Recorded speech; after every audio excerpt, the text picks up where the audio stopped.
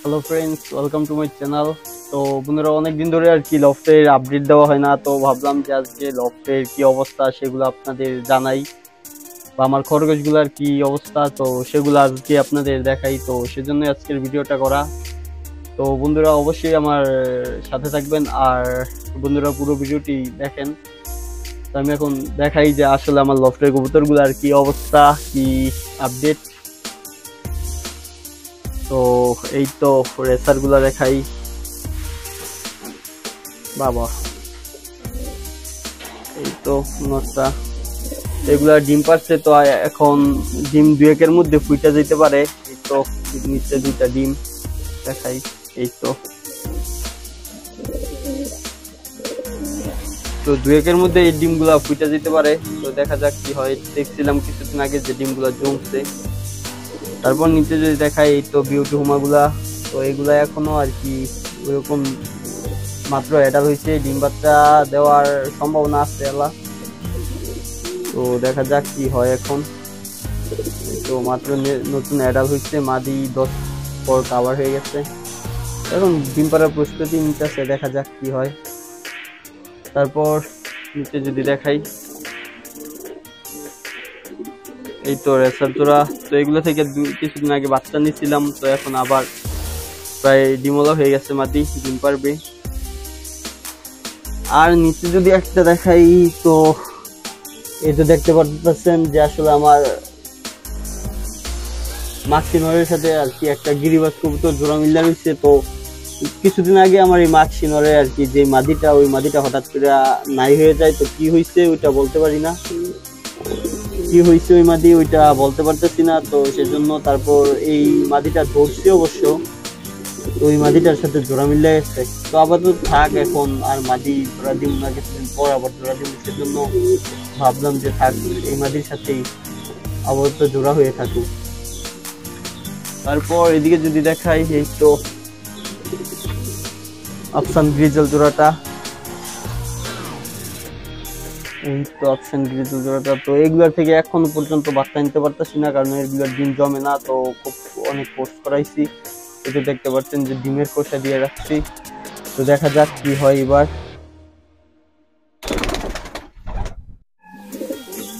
এই তো জোড়াটা খুব সুন্দর একটা জোড়া। তো দেখা যাক কি হয় এবার যে আসলে এগুলোর থেকে বাচ্চা নিতে পারি কিনা। তো তারপর এই যে যদি দেখাই, এগুলো হচ্ছে যে আসলে আমি ওই যে, গত ভিডিওতে দেখাইছিলাম যে কবুতরগুলো আমি ধরছিলাম, তো এখন এই মাদি প্রায় ডিমোলা হয়ে গেছে, ডিম পারব, আমি দেখাই মাদিটাকে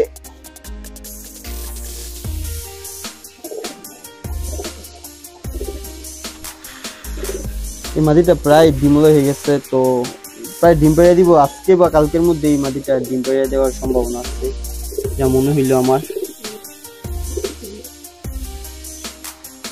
তারপর এদিকে দেখাই তো, এই তো গিরিবাস কবুতরগুলা মাসাল্লাহ একটা বাচ্চা ফুটাইছে, কিছুক্ষণ আগে হইতে হয়তো বা এই তো দেখতে পাচ্ছেন ডিমটা সরাই দিতে এই তো, আর আরেকটা ডিম ফাটছে মাত্র। এই তো আজকে রাত্রেই ফুটা যাইব। আর এই জোড়া আর উপরের জোড়া একসাথে ডিম পাচ্ছিল তো উপরের জোড়ার কি অবস্থা এটা দেখি।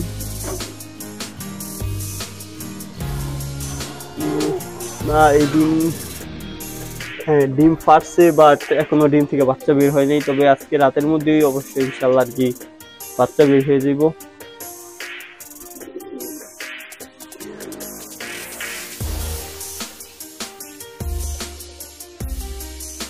তারপর এদিকে দেখাই তো এক তো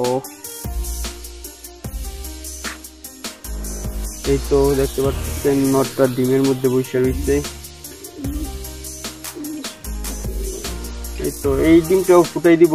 ডিম প্রায় কালো হয়ে গেছে। তো দেখছিলাম ডিম জমছে, আলহামদুলিল্লাহ। তো এখন ফুটবো আর সপ্তাহখানিকের মধ্যে ডিম ফুটতে যাবে ডিমগুলা। তারপর এদিকে দেখাই, এই তো, এই মাদিটা ধরছিলাম যে হাড়ির মধ্যে বসে রয়েছে। তো এই আমার এই নরের সাথে জোড়া মিলে গেছে। তো এখন ডিম পাড়ার প্রস্তুতি নিতেছে যে আসলে কয়েকের মধ্যে ডিম পাড়তে পারে এই মাদিটা আর নিচে যদি দেখাই এই তো এই মাদিটাও আমার ধরা মাদি, আর কি কোনো খোঁজ খবর পাইনি যে কার মাদি, তো সেজন্য রেখে দিছি। আর এই মাদিটা একটা ডিম পারছে তো এই মাদি আর কি প্রথম ডিম তো, সেজন্য দেখাই ডিমটা। এই তো ডিমটা। এইটা হচ্ছে খুব ছোট্ট একটা ডিম। আসলে এই কবুতরের প্রথম ডিম পারছে যেহেতু এটা ডিমটা খুবই ছোট একটা ডিম। ক্যামেরার মধ্যে কীরকম দেখা যাইতেছে সেটা বলতে পারতেছি না বা ডিমটা পরিমাণে খুবই ছোট। এটা মনে হয় না যে আসলে জমবে ডিমটা।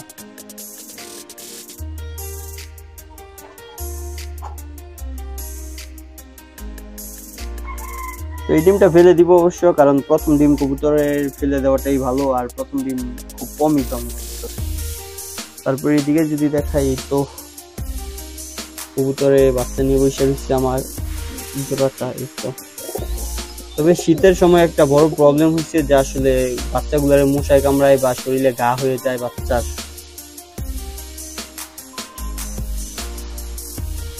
তো বন্ধুরা, এই ছিল আমার কবুতরের ভিতরে আপডেট আর বাইরে কিছু কবুতর যদি আপনাদের আমি দেখাই যে আসলে যেগুলো বাইরে ঘুরতেছে ওগুলো আপনাদের দেখাই।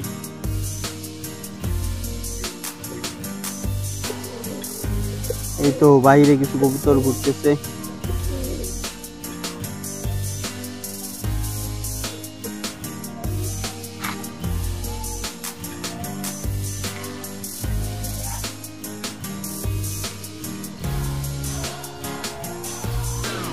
আর এদিকে যদি দেখাই তো পাখিটা, এটার আর কি ফিমেল পাখিটা, চারটা না পাঁচটা ডিম দিয়া পরে হঠাৎ করে মারা গেল। যে গত ভিডিওতে দেখাইছিলাম আপনাদের, এখন পাখিটা একটা হয়ে গেছে। তো দেখাই, দেখি এটার জন্য আর কি একটা ফিমেল নিয়ে আসব কিছুদিন পর। এখন শীত, আবার সেজন্য রোদে রাইখে দিচ্ছি।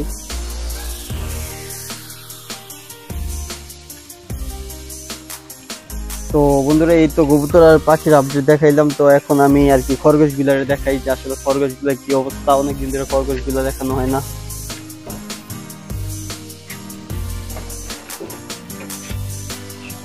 এই তো খরগোশগুলা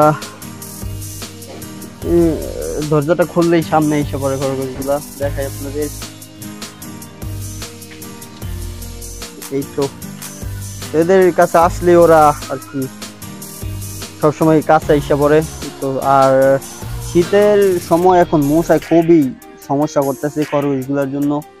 দেখতে পাচ্ছেন খরগোশগুলোর শরীরে কীরকম যেন হয়ে গেছে। তো এইরকম হওয়ার কারণ হচ্ছে যে আসলে মশায় কামড়ায় প্রচুর। সেজন্য আর কি যে দেখাই আমি, চারু সাইডে মশারি দিয়ে দিচ্ছি। তো এতদিন এটা খেয়াল ছিল না, তো এখন চার সাইডে মশারি দিয়ে দিচ্ছি যেন আর কি মশায় কম কামড়াইতে পারে আর কি।